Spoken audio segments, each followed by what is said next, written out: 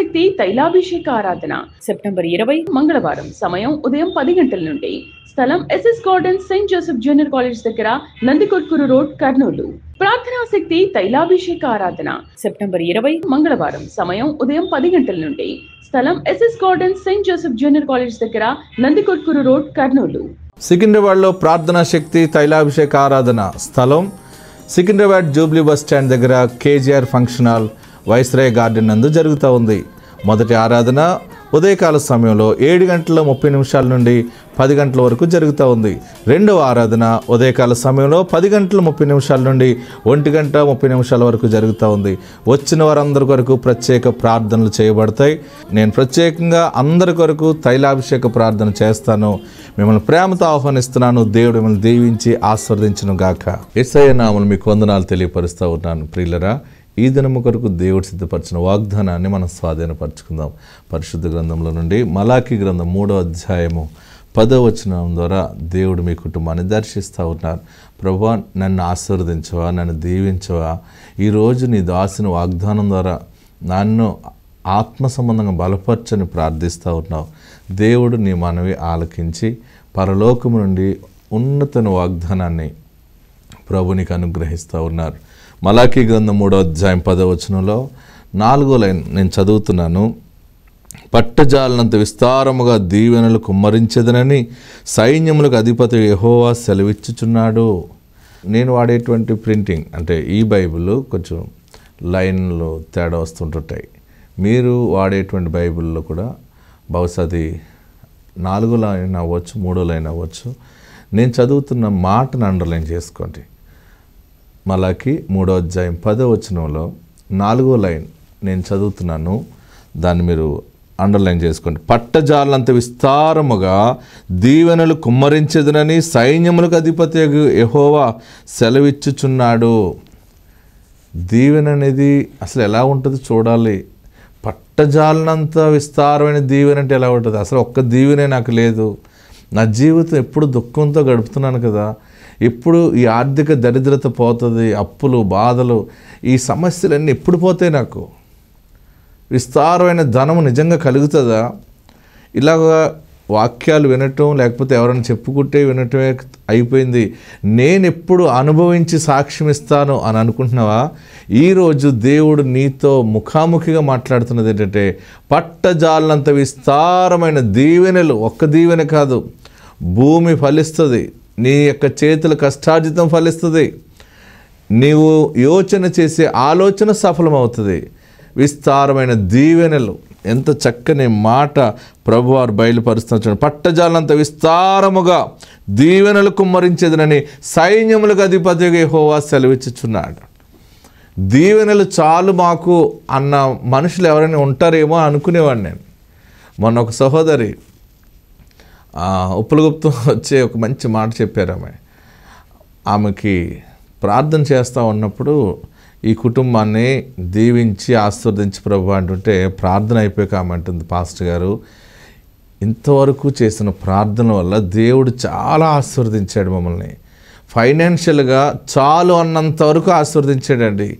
చాలు పాస్టర్ గారు మాకు దీవెనలు మాకు ఇంకా ఆరోగ్యము క్షేమం ఉండేలా ప్రార్థన చేయండి. దేవుడు నా భర్తని అమెరికాలో ఉన్నతంగా ఆశీర్వదించాడు. మరి ఉన్నతమైనటువంటి ఉద్యోగాన్ని ప్రభు మా ఇద్దరికి ఇచ్చాడు. మరి ఏ స్థితిలో నుండి నేను ప్రార్థనా శక్తిలోకి వచ్చానో ఏ స్థితిలో దేవుడి మీద ఆధారపడ్డానో దేవుడు సమస్తములో దీవుని అనుగ్రహించాడు. ఆ అభిషేకం మాకు తోడుగా ఉందని వారు సాక్ష్యం ఇస్తుంటే ఆశ్చర్యం వేసింది ప్రియులరా ఈ దినము దేవుడు నీ నోట అట్టి సాక్ష్యమును అనుగ్రహించను గాక. పట్టజాలనంత విస్తారమైన దీవెనలు ఒక్క దీవెన కాదు. గర్భఫల విషయంలో పిల్లల విషయంలో ఇంకా పిల్లలు స్థిరపడలేదు. లేకపోతే పిల్లల జీవితం ఏంటి? ఆడబిడ్డ జీవితం ఏంటి? ఎలాంటి ఎన్నెన్నో ఆలోచనలు ప్రశ్నలు నీ హృదయాన్ని అనేక రకాలుగా మరి ఎదురు పడుతూ మాట్లాడుతూ అడుగుతూ ఉన్నాయేమో నీ ప్రాణానికి దేవుడిచ్చేటువంటి ఉన్నతమైనటువంటి ఆదరణ ఏంటంటే విస్తారమైన దీవెనలు నీకు ప్రాప్తించును. సైన్యములకు అధిపతి యహోవా సెలవిస్తూ ఉన్నాడు. ఈ రోజున్న అప్పులు బాధలు ఆర్థిక సమస్యలు దాని గురించి మానసికంగా కృంగిపోవాల్సిన పని లేదు. దేవుడు నీ పక్షంగా ఉన్నాడు. నీకు నూతన గృహాన్ని దేవుడు అనుగ్రహిస్తున్నాడు. నీ తలపెడుతున్నటువంటి ఆక్వా కల్చర్లో దైవాశీర్వాదము తోడుగా ఉండటం నువ్వు చూస్తావు. ఉన్నతమైనటువంటి మార్గములు సరళమవటం నువ్వు చూస్తావు. ఆత్మనికి తోడైండును గాక గాడ్ బ్లెస్ ప్రియులరా వాక్య భాగంలోకి వెళ్దాం. ఎన్ని గొప్ప సాక్ష్యాలంటే ఆశ్చర్యమైన కార్యాలు దేవుడు జరిగిస్తూ ఉన్నాడు. ప్రార్థనా శక్తి అంటేనే మన పెదవుల ప్రార్థన దేవుడు గౌరవిస్తున్నాడు కనుక ఒక శక్తి దిగి వస్తూ ఉంది. హలెలూయ హలెలూయ హలెలూయ ఇది వాగ్దానం ద్వారా ప్రారంభించబడిన సేవ కనుక దేవుడు దీనిని అనేక రెట్లుగా ఆశీర్వదిస్తూ ఉన్నాడు. మీరందరూ కూడా మీ ప్రాంతాలలో బలమైనటువంటి ద్రాక్ష చెట్లుగా మీరు వర్దల్లబోతూ ఉన్నారు. హలెలూయ హలెలూయ హలెలూయ జీవముల దేవుని సన్నిధానంలో మనం ప్రార్థన చేస్తూ ఉన్నప్పుడు ఎంతమంది కొరకు ప్రార్థన చేస్తే అన్ని గొప్ప కార్యాలు ప్రభు జరిగిస్తున్నారు. మొన్న ఒక సహోదరు అయితే గుంటూరు వచ్చి ఒక సాక్ష్యం ఇచ్చింది. ఏంటంటే ఆమె చాలా దీనురాలు చాలా పరిస్థితి బాగుగా లేదు వారు పొలము ఆరు ఎకరాల పొలం. ఎన్ని ఎకరాలు? ఆరు ఎకరాల పొలం పది సెంట్లు భూమి. ఆరు ఎకరాల పొలం పది సెంట్లు భూమి. వారు బంధువులే ఆక్రమించుకున్నారు. వారే దాన్ని స్వాధీనం చేసేసుకుంటారు. వారు దా పంటను వారే అనుభవిస్తూ ఉన్నారు. వీరు పోరాడి పోరాడి పోరాడి వదిలిపెట్టేశారు. దగ్గర దగ్గరగా యాభై సంవత్సరాల నుంచి వారే ఆక్రమించుకున్నారు. ఎన్ని సంవత్సరాలు? యాభై సంవత్సరాలైంది వారు ఆక్రమించుకుని. ఆ ఇంటి కోడలు ఎంతో ఆశతో ఎదురు చూసి తన అత్తమామలకు కూడా చెప్తే వారి అత్తమామలు కూడా ఈ భూమి నా కుమారుడికి రావాలి నా కోడలికి రావాలని వారు పోరాడి వారిని అడిగి అడిగి చివరికి వారు కూడా చచ్చిపోయారు. అత్తమామలు కూడా చనిపోయారు. ఇంకా ఏది మనకు రాదులే.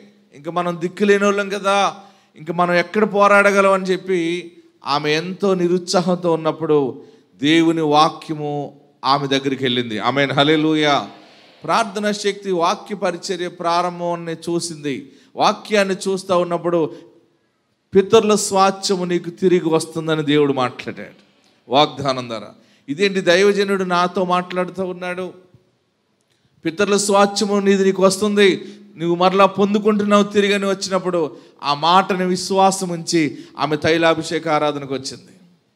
దైవజనుడ నాకు ఇలాగ వాక్యం వచ్చింది. నన్ను ప్రార్థన చేసి నన్ను దీవించండి అంటే నేను తైలము తీసుకుని ఆ తైలమును ప్రతిష్ఠ చేసి ఆ బిడ్డను దీవించినప్పుడు ప్రార్థన చేసి వెళ్ళిన తర్వాత రెండు రోజుల్లోనే దేవుని శక్తి కార్యం చూడండి.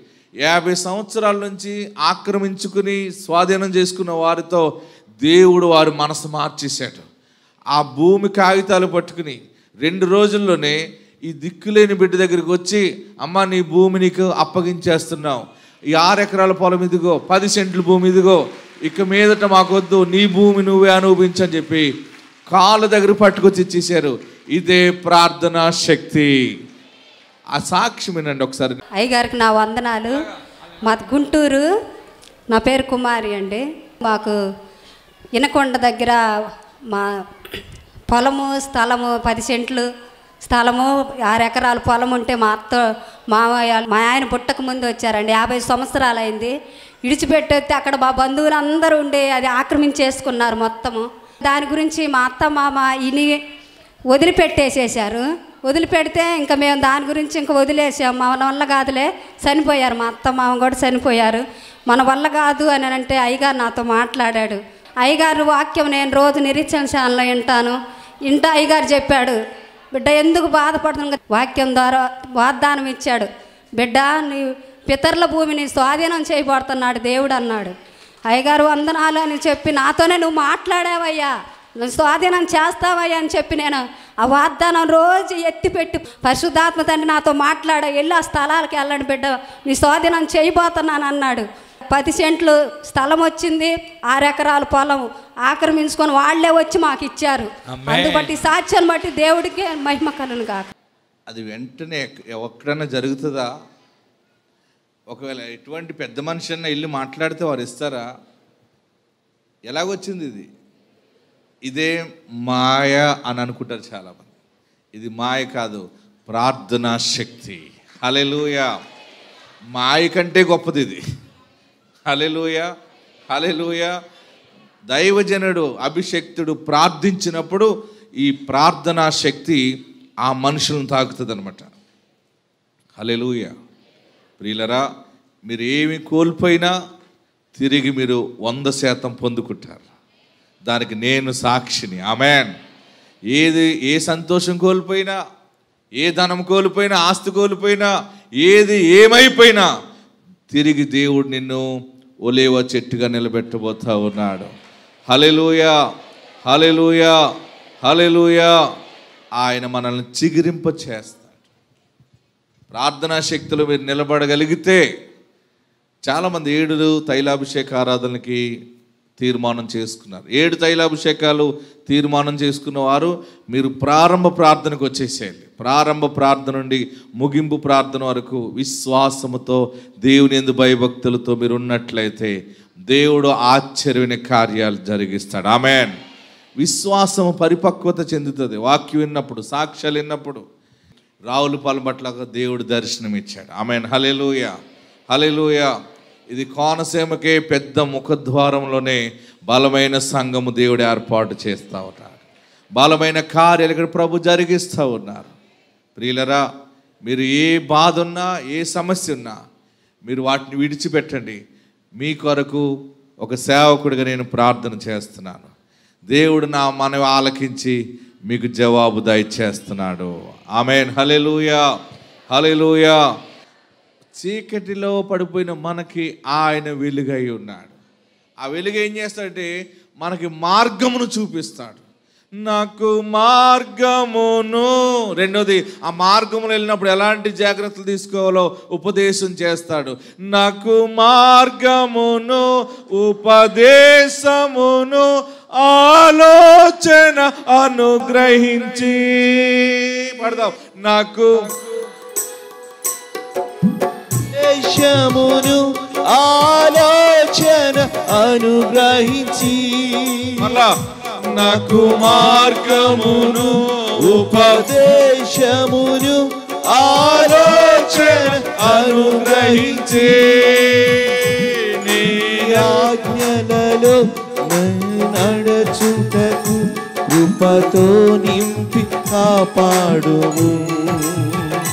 నీ ఆజ్ఞలలో నేను నడచుటకు కృపతో నింపి కాపాడును హల్లెలూయా హల్లెలూయా.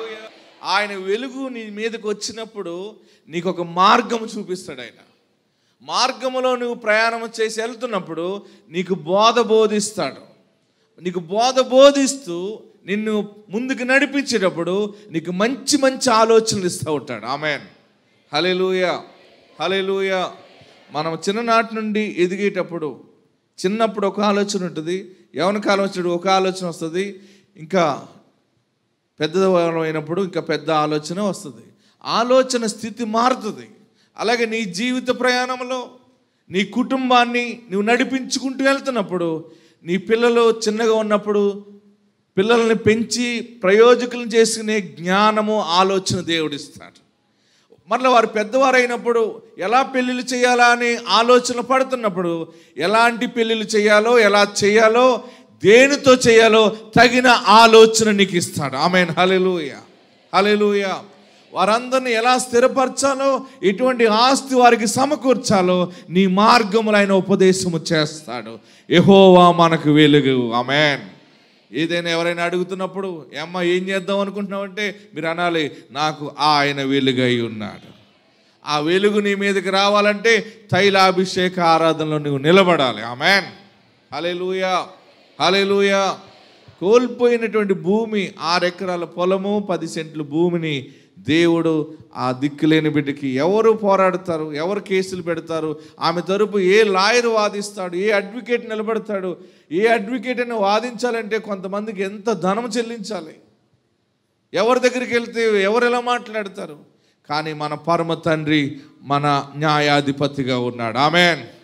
దేవుడు నీకు అన్యాయం చేసేవాడు కాడు. నాకు అన్యాయం జరిగిపోయింది. నాకు చాలా అన్యాయం జరిగిపోయిందని ఏడుస్తున్నావేమో. దేవుడు నీ పక్షంగా న్యాయాన్ని జరిగించనై ఉన్నాడు. ఆమెన్. వాక్య భాగంలోకి వెళ్దాం. పరిశుద్ధ గ్రంథంలో ఈ యొక్క నెలలో దేవుడు నాకు ఇచ్చినటువంటి వర్తమానం ఏంటంటే ప్రజలకు ఆశీర్వాదాన్ని ప్రకటించు. ఈ నెల నుండి నేను ప్రజల్ని ఆశీర్వదిస్తున్నానని దేవుడు మాట్లాడి ఉన్నాడు. ఆది కాండం రెండవ అధ్యాయాన్ని మనం చూద్దాం. మరి మన మూల వాక్యాన్ని మనం చూస్తున్నప్పుడు యెషయా గ్రంథం యాభై ఒకటో అధ్యాయం మూడవ వచనములో అరణ్యమును ఏదేను తోటగా చేయుచున్నాను అన్నాడు. తర్వాత అందరూ బైబిల్ తెరవండి. యెషయా గ్రంథం యాభై ఒకటో అధ్యాయము మూడవ వచనం. యహోవా సియోనును ఆదరించుచున్నాడు. బాగా గమనించండి. యహోవా సియోనును ఆదరించుచున్నాడు. దాని పాడైన స్థలములన్నిటినీ ఆదరించి దాని అరణ్య స్థలములను ఏదేను వలె చేయుచున్నాడు. తర్వాత దాని ఎడారి భూములు యహోవా తోట తోట వలె అగునట్లు చేయుచున్నాడు.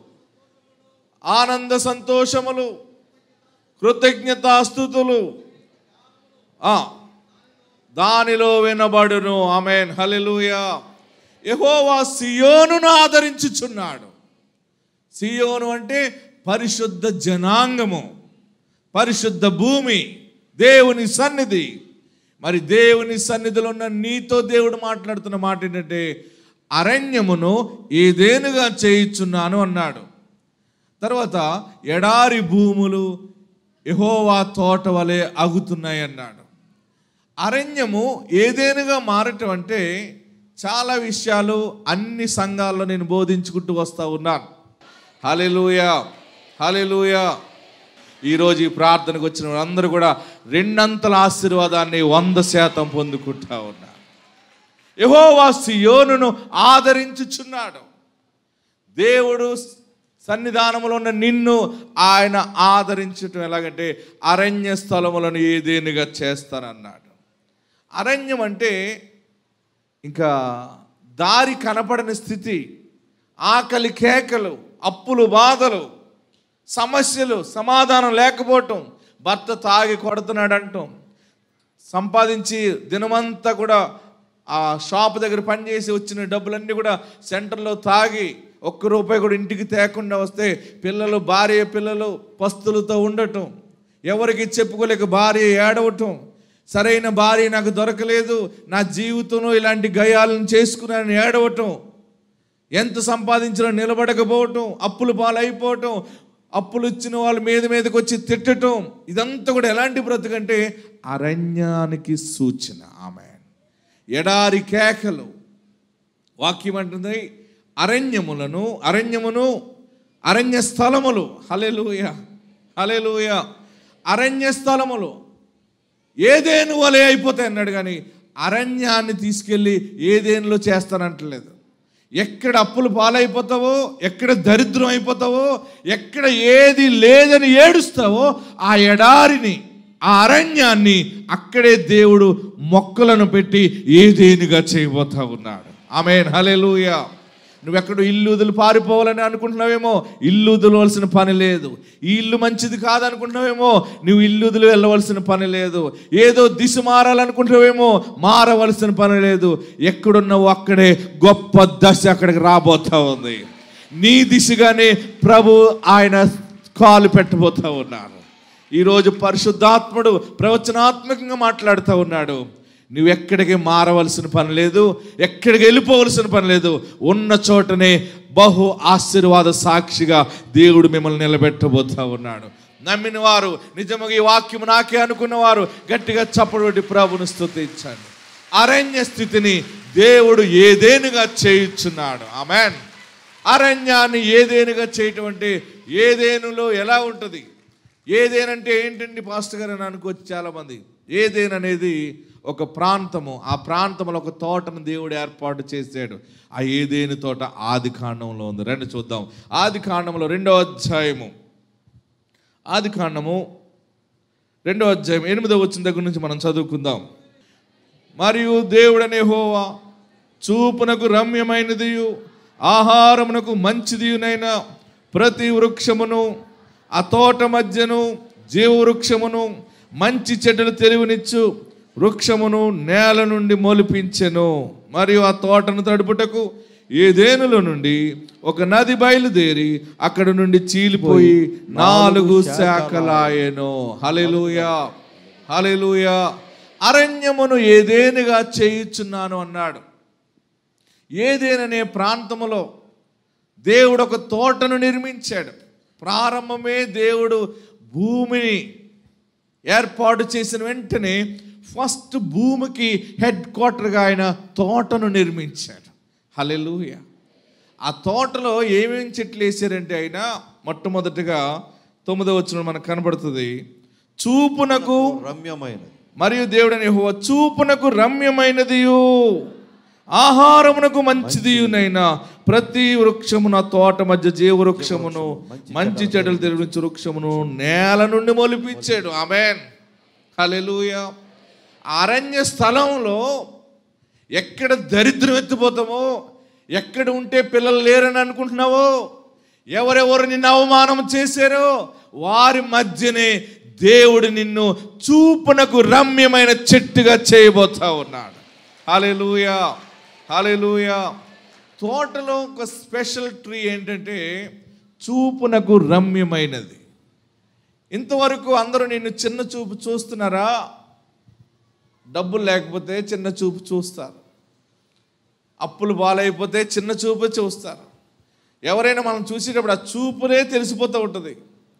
ఎవరైనా మన ఇంటి ఎవరింటికైనా మనం పరిస్థితి బాగోలేని వాళ్ళ ఇంటికి వెళ్ళామనుకోండి వారు మనకి టీ ఇచ్చినా మంచినీళ్ళు ఇచ్చినా వారు చూసే చూపే తెలిసిపోతుంది మనకి.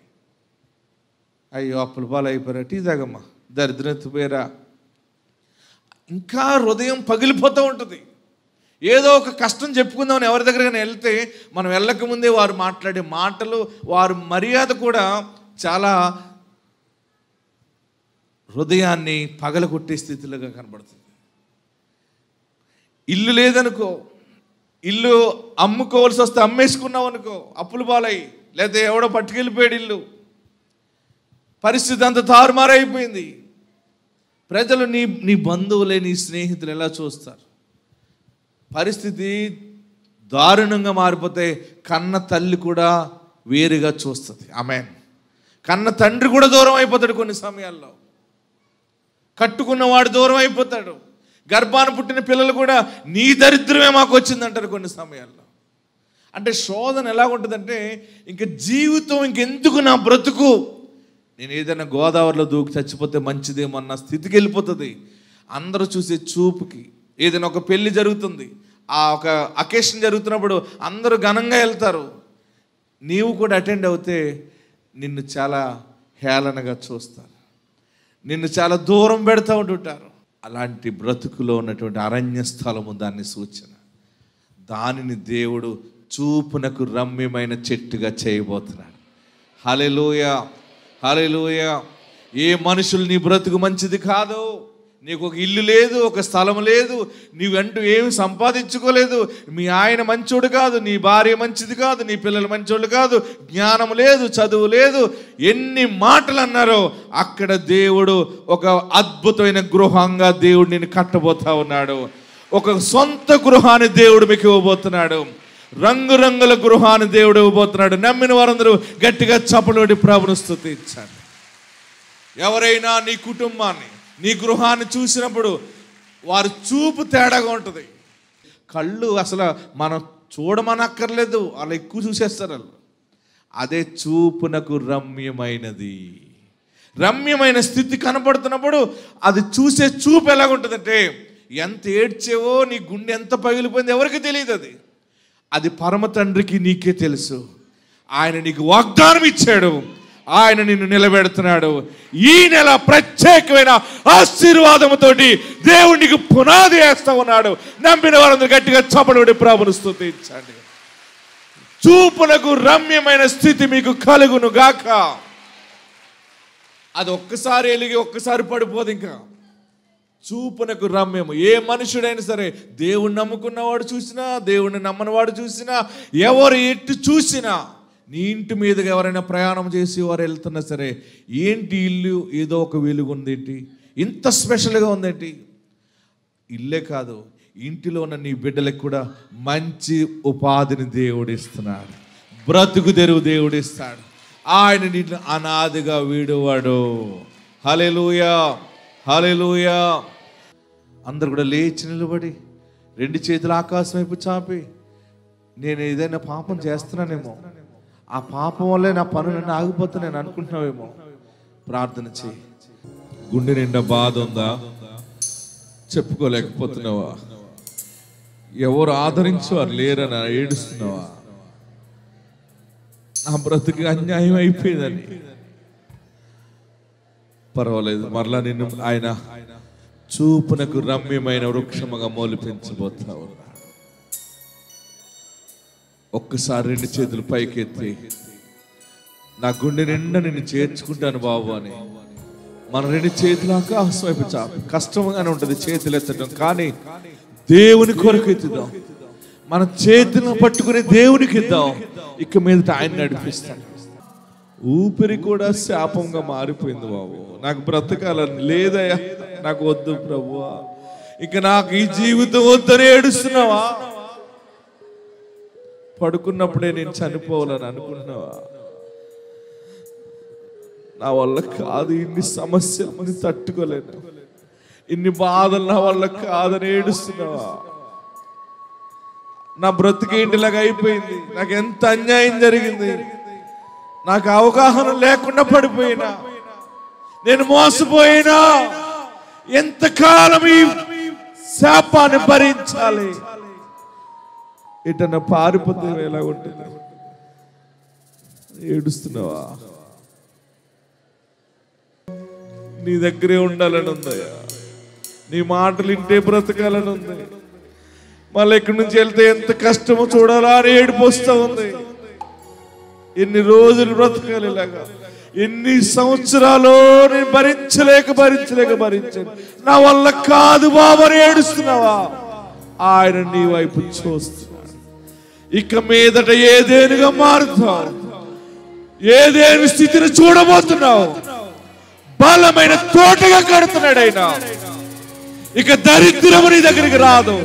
ఇక దుఃఖములను చూడవు. నీ దుఃఖ దినాలు ముగించబడ్డాయి.